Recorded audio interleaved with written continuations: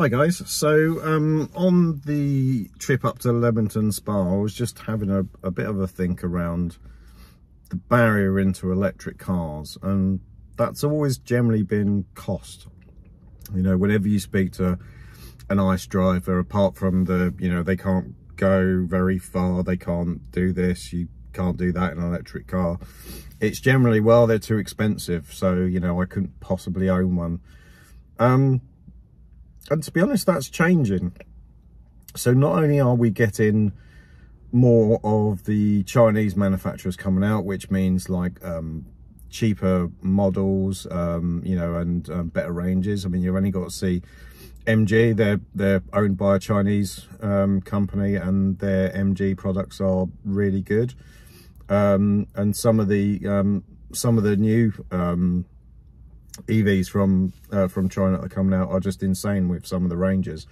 And I'm sure they'll make their way over and they're already starting to make their way over into Europe and, you know, potentially in the UK. So that's one way. But the other way is that recently I've moved across to Onto, uh, a car subscription service essentially. And I don't actually think that it's that bad. I mean, I'm sure people out there will disagree and they'd rather own their own car or, you know, um, lease like normally and stuff like that.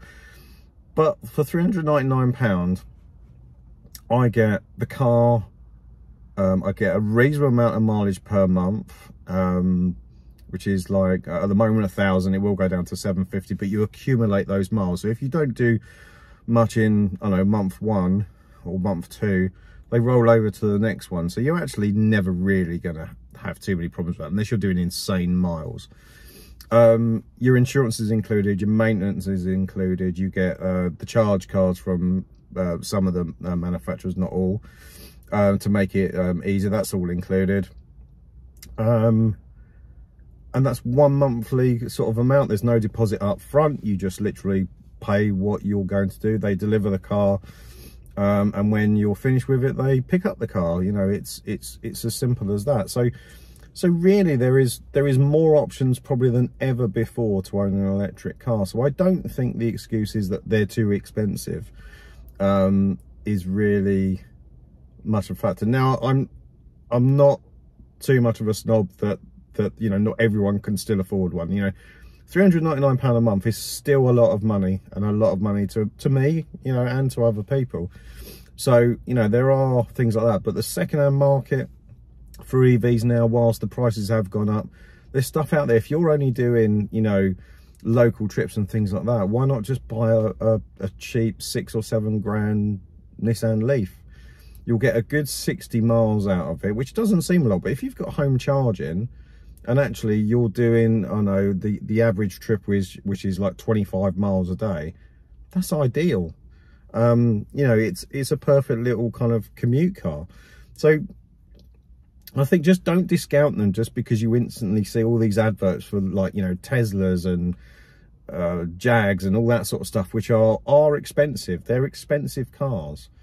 Um cheaper cars are coming. Now it's not going to be quick like any technology. And let's face it EVs are technology. They're, they're less about cars and more about a product or a tech, a bit of tech, like a phone.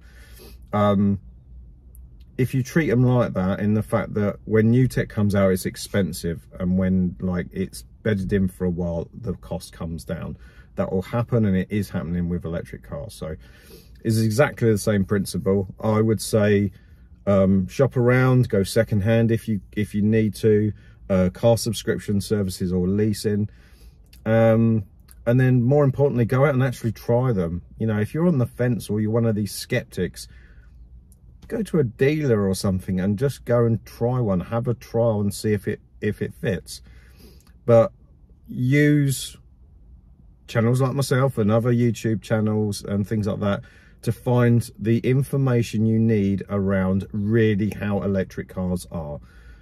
Because more often than not, uh, dealers will kind of just tell you any old crap to get you into a nice car rather than anything else unless you get like a really good sort of dealer that's uh, less biased. So just bear that in mind if you're looking for a new car.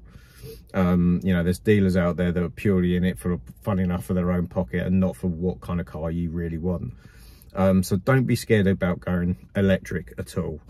Um, it's coming. It is the way forward. It's only a matter of time before it fully takes over. Uh, petrol and fuel prices at the moment are through the roof. Um, so, you know, the demand for electric cars are just going to go through the roof. And places like where I am at the moment in Rugby, where you've got like 11, 12 uh, chargers, that's going to become the norm. So, um, yeah, or, or, this video is really just kind of, if you're on the fence or you're looking around or you're thinking, oh, they're just too damn expensive, there's options out there for you. So, you know, explore those options. Don't just go, it's too expensive because the, the advert says it's 45, 50 grand for a car. Doesn't have to be like that. You know, just, you don't necessarily need the latest and greatest um, to own an electric car. Anyway, another video from me. Hope everyone's doing really well. Thank you for the continued support. And uh, until next time, I'll see you on the next video. Cheers, guys. Bye.